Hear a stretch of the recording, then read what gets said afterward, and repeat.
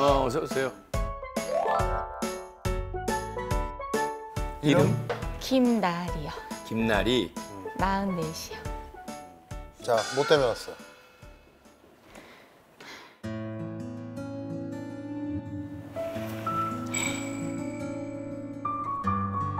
준비되면 얘기해. 그래. 천천히 해. 뭐 급할 거 없어. 천천히 호흡 주- 더 해도 돼. 호흡 더 해도 돼. 응. 급할 거 없어.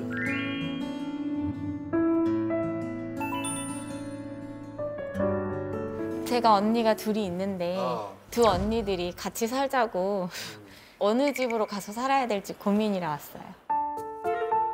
그게 무슨 소리지? 어, 제가 좀 아파서 어. 지금 혼자 지내고 있는데 어디가? 어, 골수 형성 이상 증후군이라고 어. 그 혈액암이고요. 아이고 아이고 아이고 아이고. 어. 아이고 아이고 아이고 아이고.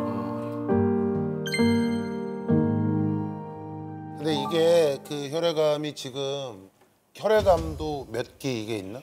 혈액암은 사실 기수가 고형암은 아니어서 아, 따로 아. 있지는 않다고 들었고요.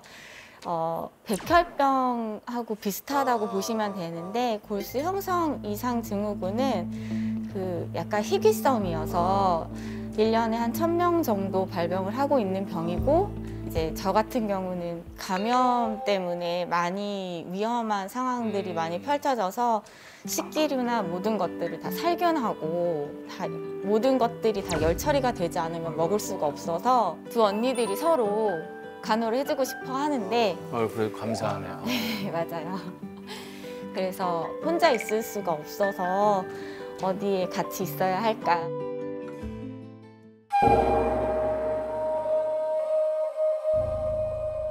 그러면은 이게 언제 알게 된 거야? 어, 혈액 검사에 이상 소견이 있다고 들은 건 8월이었고요. 사실 이제 제가 비행하는 아, 승무원이어서 승무원이야. 어. 늘 시차 때문에 어지럽고 빈혈도 당연히 그냥 기본 베이스로 함께 하는 병인이라고 생각을 해서 그걸 브링업 할 만한 이슈가 아니라고 생각을 했던 거죠. 그래서 다시 열심히 일을 하고 있는데 1월 달쯤에 어, 밤에 비행을 하는데 너무 어지러운 거예요. 그래서 동네 있는 병원에 가서 진찰을 받았는데 혈액 수치가 너무 비정상으로 낮다. 문제가 있는 것 같으니 어, 큰 병원에 병원 가서. 네, 확인을 해봐라 해서 그러면은 기증만 받으면 되는 거고. 완치는 조혈모 세포 이식밖에 길이 없어요. 어, 아빠는 돌아가셨고요. 어머님은 너무 노령이어서 이식 조건에 맞지 않는다고. 누구 맞는 사람이 없나 지금? 다행히 형제들이 맞으면 이식을 받으면 좋았을 텐데 음, 맞는 사람이. 네, 저희 언니 둘이 저하고는 하나도 안 맞더라고요. 그래서 그 현재는 조혈모 세포 은행 쪽에서 기증을 받아야 기증을 되고. 네 지금 기증을 받 대기를 하고 있고. 맞습니다. 아니 근데 보통 이제 우리가 골수 이식이라고 하면 척추에서 이렇게 뽑고 하는 걸로 많이 알고 있어.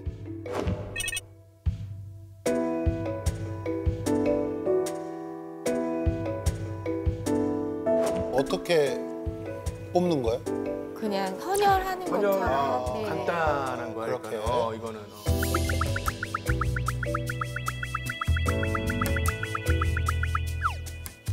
근데 이게 최근에 코로나 때문에 헌혈에 대한 것도 굉장히 급감하다 그치, 그치. 보니까 혈액도 부족하지만 기증을 하시겠다라고 하신 분들도 많이 부족하고 그래서 그거는 또 하염없이 그냥 기다려야 되는 거네.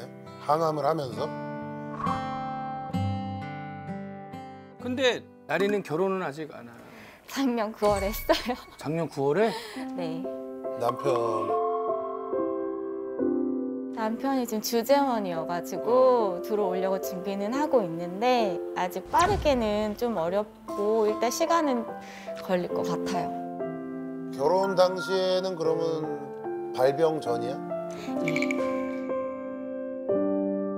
남편분도 많이 놀라셨겠네 지금 일이 뭐 잡히겠어 그지? 아내 보고 싶고 걱정되고 그러면은 남편이 들어와도 같이 지낼 수는 없는 상황이. 그러니까 사실상 어, 이 리스크에 대해서 아무도 확답을 주실 수가 없는 게 감염 노출이 가장 큰 문제가 발생할 수 있다 보니까 남편이 와, 오와 온다 맞아, 하더라도 그치, 그치. 네. 왜냐면 외부 활동이 많을 텐데. 네 맞아요. 그러면 지금 어디서 살아? 잠시 언니네 집에 머물면서 그 비닐 막 커튼 같은 거 있잖아요. 그렇게 하고 있긴 했었는데 얼마 전에 조카가 감기 걸려서 그러니까 근데 어, 큰 언니는 어, 요리를 너무 못해요. 어. 근데 기반이 잘 잡혀 있고 재정적으로 안정이 많이 되어 있고 거주지가 서울이어서 어. 병원이랑 훨씬 더 가깝고, 근접해서 큰 언니는? 안심이 어. 되고 한데 작은 언니는 이제 지방에 거주를 하고 있고 음. 대신에 전업주부여서 위생관념이나 이런 것들이 철저하게 해줄 수 있어서 식단이나 이제 항암을 하고 있다 보니까 근데 작은 언니 집이 또 예쁜 아가가 반려견이 같이 있어요. 아 그럼 안 되잖아. 네, 그러다 보니까 둘 다 리스크도 있고 둘 다 장점도 있는데 혼자 있을 수가 없어서 근데 지금 얘기를 들어보니까 두 군데 다 조건이 그렇게 좋지가 좋지 않은 않아요. 왜냐하면 강아지를 키우시는 둘째 언니는 다른 데 분양을 어, 시켜야 돼. 다른 데 뭐 잠깐 맡길 수도 없고 그 방법은 그거밖에 없는데 거기는 동네 어디지? 어, 지방이 어디? 대전이 아, 대전. 멀지. 아니, 병원 근데 왔다 갔다 하기가. 병원도 네. 음. 근데 서울에 있는 언니는 또 뭐 외부 활동이 있다며. 네, 언니도 사업을 하고 있어서 그러니까 안 되지 그럼. 그러면 지금 상황에서는 내가 봤을 때 병원에 가까운 곳이나 큰언니 집 근처에 방을 작은 걸 하나 얻어서 정말 무균실처럼 깨끗한 환경을 해놓고 언니가 좋은 재료로 음식해서 갖다가 언니가 요리 주기가- 못한대 큰 언니. 맛없어도 먹어야지 세계에서는 그러면 본인이 레시피를 주든가 해서 아니 근데 그게 어. 맛이 있고 없고 문제 아니라 감염의 위험 때문에 지금 이러는 거 아니야. 근데 집에서 그 집에서 해갖고 뭘 오고 거기 사람들이 들락거리고 하는 데서 만든 음식을 갖고 얘한테 갖다 주는 게 의미가 없다니. 재료만 좋은 것만 사다 줘도 입구 앞에 그러니까 예를 들면 아니 근데 얘가 지금 이제 점점 항암 치료가 더 가고 기운이 없고 힘들어지면 본인은 요리 저 뭐야 음식을 할 수가 없고 하여튼 내가 볼 때는 그래. 큰 언니는 요리를 너무 못해 작은 언니는 지방에 거주를 하고 반려견이 같이 있어요. 감염 때문에 내가 볼 때는 저거밖에 없어요. 방법은 지금 현재 지금 가장 중요한 거는 뭐 그 어떤 것보다도 건강이고 그다음에 언니들 둘은 정말로 우리 뭐 나리를 너무나 끔찍하게 생각하고 돌봐야겠다라고 생각하면 나리 집으로 오는 게 맞죠. 언니 중에 한 분이 나리 집으로 와서 나리랑 같이 지내면서 음식을 좀 해주고 이러는 거 말고는 지금 내가 볼 때 그냥 나리가 그 언니들 집에 가는 거는 감염 위험 때문에 지금 불가능하고 근데 중요한 게 사실은 아픈 사람이 지금 제일 힘들 거라면 얼마 안 돼서 받아들이기도 어렵고 지금 제일 힘들 거라면 얼마 안 돼서 받아들이기도 어렵고.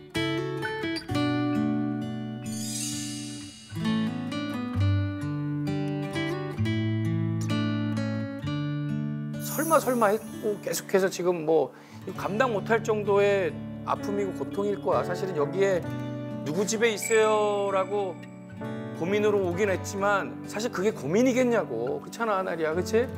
더 큰 고민이 늘 마음속에 자리 잡고 있는 걸 알지 아는데. 그러니까는 지금 이런 상황에서는 나리의 정신적인 멘탈이나 이런 거 강하게 해주려면 옆에 가족들이 지켜봐 줘야 되는 상황이거든. 자 내가 볼 때 이제 이거는 이 문제를 갖고 나리가 걱정할 문제는 아닌 것 같아. 어? 왜냐? 남편도 있고 맞아요. 언니들도 있고. 있는데 그럼 그 사람들이 결정할 문제. 이렇게 아픈데 우리 어떻게 할 건지 도대체 어 그거는 왜냐면 이걸 얘가 뭐 이 집에 가야 될지 저 집에 가야 될지 뭐 할 문제는 아니고 정말로 가장 중요한 거는 얘가 이제 치료 잘 받아서 어, 건강이니까 회의를 해가지고 어. 결정을 하도록 하세요. 그다음에 이제는 뭐 의술이 워낙에 발전을 했고 기증을 받으면 또 어. 건강해질 수 있다라고 하니까 잘 먹고 체력 유지 잘하고 어 치료 잘 받고 분명히 좋은 결과 있을 거야. 그래 울지 힘내. 말고 많지라는 게 있잖아. 그런 사례도 있고. 그 희망적인 게 있기 때문에 우리 늘 희망을 보고 살아야지. 그렇지? 그렇게 좀 했으면 좋겠어. 한 가지만 어.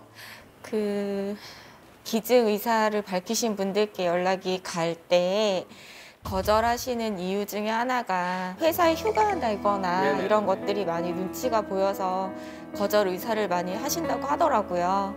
근데 법적으로 유급 휴가 받으실 수 있으니까 아, 좋은 일 하시는 네. 거니까. 어, 좋은 일 하러 가시니까 네. 그렇다고 하시면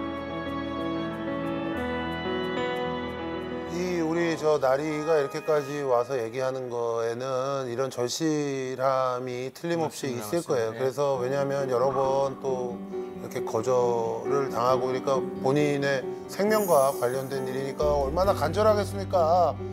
혹시 어, 본인이 그런 기증 의사가 있으신 분들은 조건이 맞는다면 동참해 주시기를 바라겠습니다. 맞습니다. 내 가족일 수도 있고, 그렇죠. 네. 어, 내 주위 사람들일 수도 있기 때문에 큰 좀 용기를 내서 기운 내. 힘내. 음. 좋아요, 잘될 거야. 잘 될 거야. 어? 감사합니다. 잘 될 거야. 너무 뽑- 걱정하지 마. 뽑지 말자 이거. 그래. 이거 뽑으면 괜히 괜히 재수없는 아, 거 할, 얘기 그러니까. 없을 것 같으니까 그래.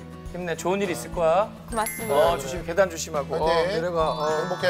음, 그럼 잘 될 거야.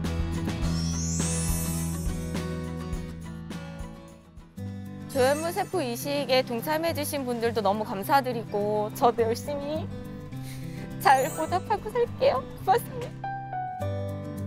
좋은 기운 받아서 새 생명 얻고 힘내서 다시 돌아올게요. 김나리.